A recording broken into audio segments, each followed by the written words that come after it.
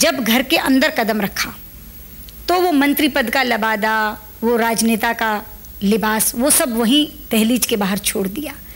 घर के अंदर केवल एक पत्नी, एक माँ, एक बहू, एक बेटी, वही स्वरूप लेकर के अंदर दाखिल हुई।